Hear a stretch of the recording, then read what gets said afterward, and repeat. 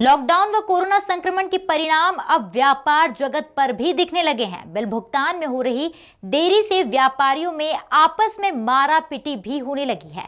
वहीं देर रात सदर बाज़ार थाना क्षेत्र के इमली बाज़ार में यह मामला सामने आया है, जहाँ दो रेडीमेड कपड़ा व्यापारियों में पैसों के लेन देन को लेकर जमकर मारपीट हुई। दरअसल इमली बाज़ार स्थित एक कपड़े की दुकान पर पेमेंट मांगने के दौरान विवाद होने पर दुकान के मालिक आशीष विश्वकर्मा एवं छिपा बाखल में एक ट्रेडिंग कंपनी के नाम से रेडीमेड की मैन्युफैक्चरिंग करने वाले केपी राजपूत में जमकर मारपीट हो गई।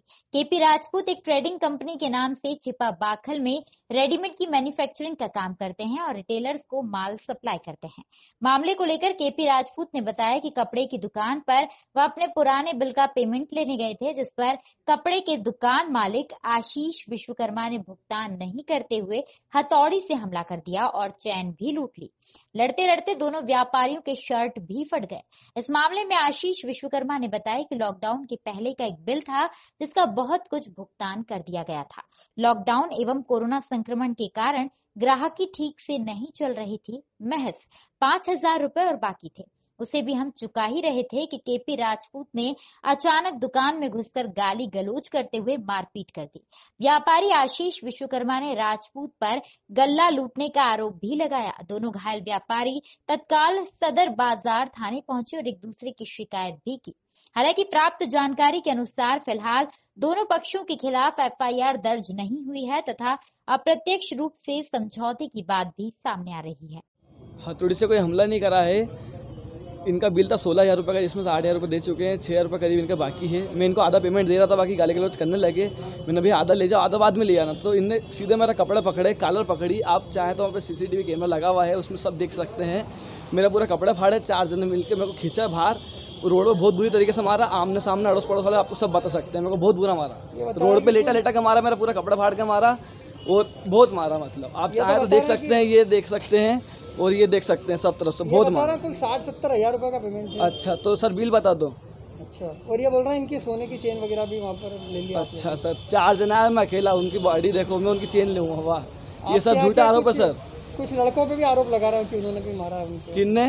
आपकी दुकान के मेरी दुकान पे मैं अकेला हूँ एक अच्छा। और कोई है नहीं मेरे अलावा। कहाँ पर है दुकान आपकी? सुभाष ये इमली बिहार में। क्या नाम से दुकान है गुरु जी कलेक्शन। आप कब से इनसे मतलब लेन देन कर रहे हैं व्यापार कब से कर रहे हैं मेरा कोई व्यापार नहीं है इनसे एक बिल लिया था करीबन लॉकडाउन के पहले की बात है। लॉकडाउन के बाद पेमेंट स्थिति बहुत ख़राब है इसलिए नहीं दे पा रहे हैं। टुकड़े में दे रहे हैं ऐसा नहीं कि मना करा है दे रहे हैं। छः रुपये बाकी है छः में मतलब आधा दे देते हैं। कल आए थे इनका भैया उनको भी हमने बोला था एक हज़ार रुपये ले जाओ भैया जो भी है आप ले जाओ आधा और आज कर देंगे। आके सीधा आज गाली गलौज करने लगे सीधा मारा गुटी करने लगे। ये कोई तरीका नहीं होता है सर ये अपना एक रेडीमेड गारमेंट की मैन्युफैक्चरिंग है। ठीक है तो ये गुरुजी गारमेंट गुरुजी कलेक्शन करके है इमली बाज़ार में। तो बाईस दो दो हज़ार बीस का एक बिल है। ठीक है?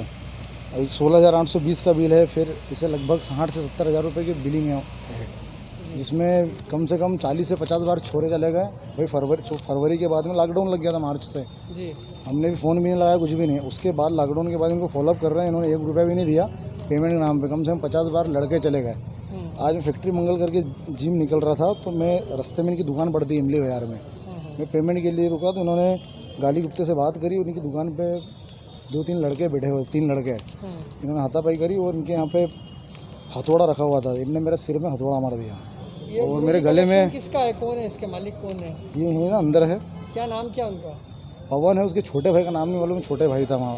पवन वहाँ पे उपस्थित नहीं था उस समय। हम्म, और मेरे गले में एक चेन थी अपने। हम्म, अस्सी ग्राम की चेन थी चेन और लॉकेट। तो इनने चेन और लॉकेट भी इसी के पास में दे नहीं रहा है।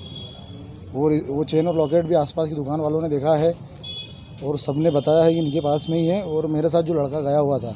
दीपेश उसने भी देखा हुआ है कि चेन इसी के पास है। आप कब से इनके साथ व्यापार कर रहे हैं इस तरह? सर व्यापार को अपना सेल्समैन है संजय चौरसिया जी करके उन्होंने माल दिया। हम तो जानते भी नहीं थे जो सेल्समैन है जो इंदौर लोकल देखते हैं तो उन्होंने इनको माल दे दिया था। आज ये सदर पुलिस वाला न्यूज़ से city crime reporter Sanjay Verma की रिपोर्ट।